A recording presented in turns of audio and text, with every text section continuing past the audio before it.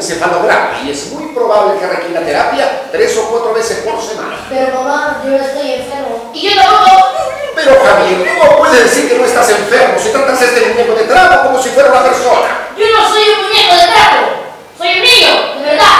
Doctor, ahora se ve mi loco. Ay, perdón, perdón, ¿de qué?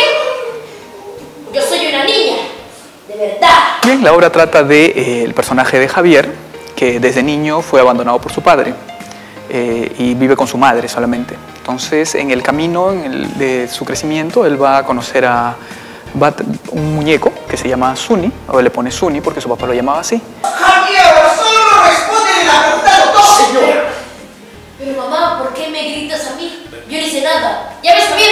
Te dije que no viniéramos. Tu mamá no nos quiere. deje en mis manos.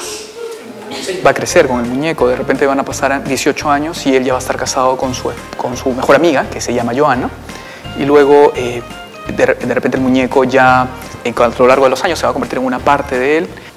¿Qué pasa? Javi, Sonia, anímese, pues. ¿Animados? Yo creo que asustados sería más adecuado. No me voy a molestar contigo hoy, Sonia. No vas a arruinar mi luna de miel. ¿Qué pasa, Javi? ¿Te me vas a hacer el difícil? No, no, solo que estoy un poco nervioso, tú me entiendes. ¿Nervioso? Yo estoy en shock. Además, creo que me está dando un poco de asquito.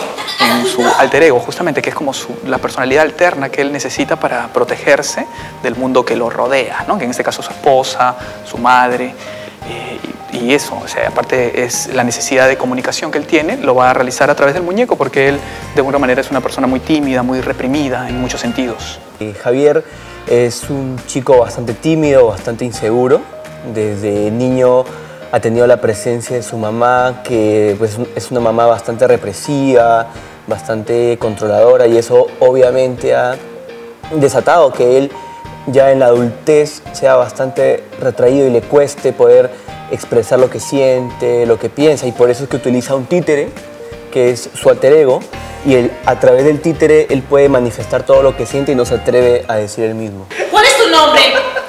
Me llamo Suni. ¡Ah! Suni. ¡Ay, qué original! Nunca había escuchado ese nombre antes. Es que Dios me hizo y rompió el molde. Los invito a todos a que vengan al Centro Cultural Ricardo Palma de Miraflores eh, de jueves a domingo a las 8 de la noche para que puedan disfrutar la obra Alter Ego, temporada hasta el 20 de noviembre. Así que los esperamos.